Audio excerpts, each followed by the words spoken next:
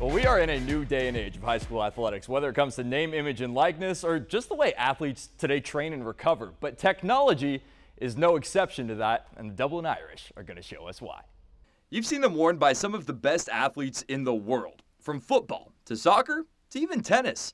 But now in Dublin, the Irish football program using the Catapult One vest to level up the game this fall. Energy expended, their heart rate, their top end speed, how fast they accelerate, how many blows do they take in the course of a game. The vest feeds all that information back to a GPS tracking system, which coaches can then use to track performance.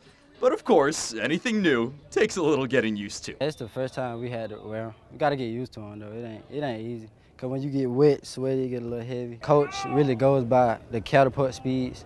Like if everybody dropping at the same time, then he'll back off a little bit. But that's a two-way street because if anyone's taking a play off, coach knows that too. If you say for instance one day you go crazy, like you do have crazy stats, and then after that you start slacking, he gonna know. And at this point, the catapult might as well be like any other piece of gear for the Irish. I remember the first day of spring, I left my catapult disc in the locker room. I had to come back and do uh, bear crawls up and down the field the second day of spring. Of course, a valuable tool for the program, but maybe most valuable of all when it comes to where these guys are heading next. It can aid a kid tremendously in recruiting. A young man that can run over 19 miles per hour with a catapult on in the middle of a football game they don't need to know what his 40 time is. The catapult tells them how well this young man runs. Nasir Johnson recently committed to the University of Florida, so maybe for him it's a little less recruiting and a little more performance this season, which, with help from some new technology,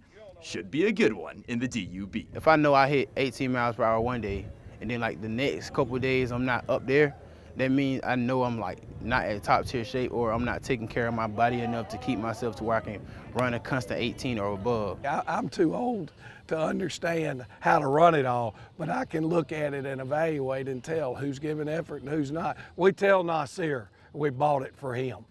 Oh boy, football Friday night, less than a month away. The Irish kicking off their season on August 18th against Wilkinson County.